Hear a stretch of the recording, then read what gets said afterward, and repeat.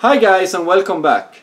Today in this episode we will continue on the series of the Raspberry Pi Grafana integration and in this series I will show you how to make this. A cable that you connect between your Raspberry Pi and your inverter from for instance MPP Solar that mm. utilizes the RJ45 plug. Um.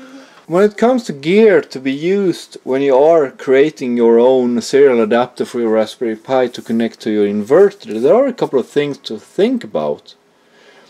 First of all, the Raspberry Pi only handles 3.3 volt, meanwhile many inverters are actually running at 5 volt. And this could potentially harm the Raspberry Pi and actually destroy the Raspberry Pi's I.O. port. There are a couple of inverters that do run at 3.3 volt and they will be fine hooking up directly to the serial port on the Raspberry Pi. But if you have for instance the PCM60X or the PIP4048 or any other inverter with only serial port, then you need to consider having some sort of TTL adapter that converts the 3.3 volt to 5 volt. And on this layout here I have two of them here. They are both utilizing the chipset that's called the RS3232 from Max. And that chipset is actually done in such a way that it can convert the signals. This is the first type of adapter that I have here that is commonly used. One thing about this one is that it has the female header here and on the computer you need or depending on where you hook it up you need the male one instead to be able to hook it up to the cable directly from the PCM or the MPP manufacturer. I have an example here where I made this adapter. As you can see this is goes into the Raspberry Pi and I have hooked up the cable that goes to the inverter on the other side instead. And this is one way of doing it. Today though on the other hand I will be showing you a little bit more slim method using this small chip here. This is the same functionality as we have on the bigger one. Except that this small one have a lot more pads. So you have in and out in out on the top side and you also have in out in out on the bottom side and that's because this chip actually can convert in two different ways. I'm not going to go into that today because that's irrelevant for many of the users.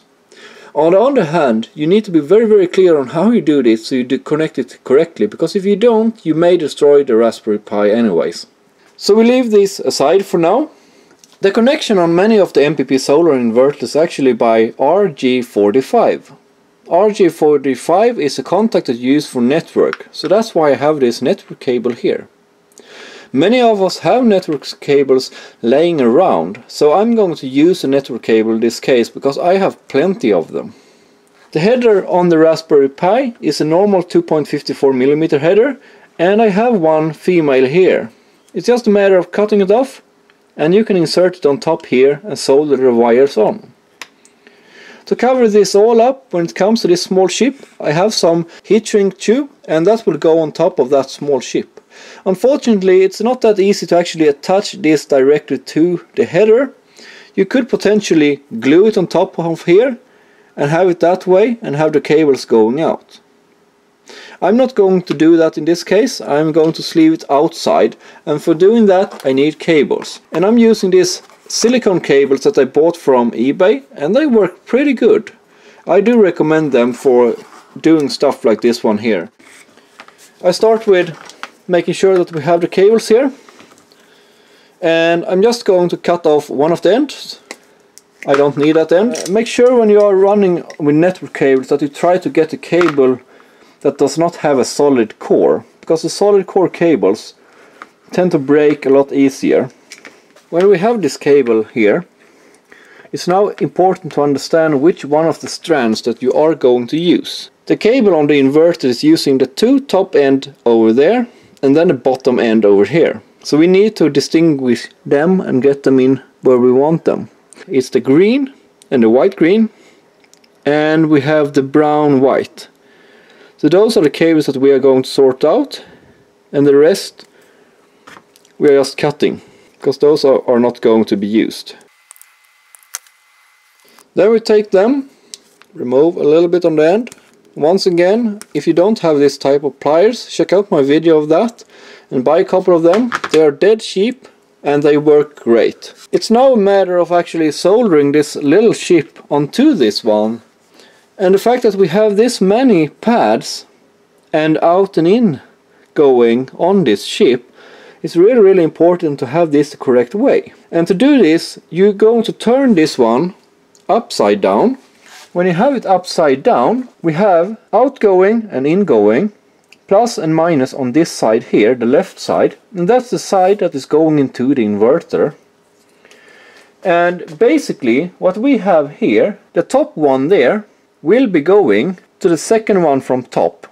And in my case the second one from top here is the white green.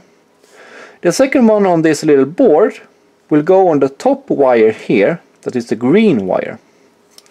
So let's hook them up. To solder this is always easier to have a helping hand and I'm going to use this one here that will hold this in place and then it's just a matter of wetting the pads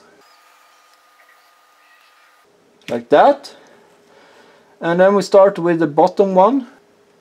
The bottom one or first pin on the RJ45 is the ground. So we start with that one. The white green was the seventh one. And the seventh one we know should go to the top here. Then we have that one. So basically we have the first part done. But before we get any further, I'm going to add a little bit of shrink tube on this. When it comes to the Raspberry Pi, we take a look at the pinout, we'll see that we will be using the 3.3 volt power that are on pin number 1. We will also be using the ground that are on pin number 6. And then we have the TXD 0 and the RXD 0 that are on pin number 8 and 10. That means we are going to use 2, 4, 6, 8, 10 of the pins in the length and that means we need to have 5 here. 1, 2, 3, 4, 5 so we are going to cut it there and that will give us 2, 4, 6, 8, 10 pins. So let's clean this up a little bit. And to solder this I actually like to put this on the Raspberry Pi directly. So what we now need to do is hook this up to this little board and in this case we need to hook up four wires. Four wire wires since we need the ground, we need a positive to actually drive this board and we're going to do that with 3.3 volt and we need the TXD and RXD for the uh, communication. Roughly 10 centimeters long every one. So I start with the red for the positive, the 3.3 volt, and then I go back with black for the ground, and then I take green for the TXD or the RXD, it really doesn't matter. And then I use yellow for the last one. You can use whatever colors you want. You can even use wires from the RJ45 cable if you want. That's fine too. I prefer the red for the 3.3. Uh, Let's start with that one. The black is for the ground. And then I use yellow for 8 and then green for number 10. Make sure you don't have any cold joints here. And when you have it all soldered together, let's take a look at it. We have the red, number 1, black number 6, yellow number 8, and green on number 10. We are going to solder the next four cables on the underside as well. So let's wet them up a little bit and add some solder. It's now matter to actually tighten them together and I'm going to add this cable sleeve here on top of it.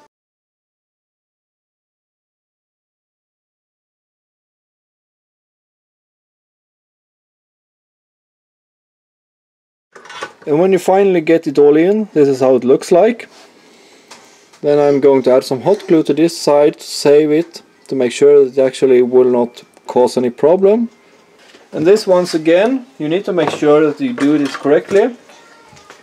I'm going to start with the positive and the negative or the ground and that's the red and the black and they should be black on the minus. The next one that is input should go to TXD on the Raspberry and the TXD on the Raspberry, if you remember correctly, is the yellow one. And the last one is the green one. That's basically the cable and most things are done. Before you go any further, I do recommend that you actually test this cable out to make sure that it do work. Don't forget that this one needs to be on the correct base on the Raspberry. That means that red will go to the top like that. It's time to actually bundle the cable together and make it very pretty. And the cost of this whole cable came under, I would say, one dollar in total. So that's rather cheap to make your own USB serial adapter cable. It's time to actually fit this on top of this here. But before this I like to add some hot glue on the joints to make it a little bit more non-fragile. So do not add hot glue before you know that this is going to work.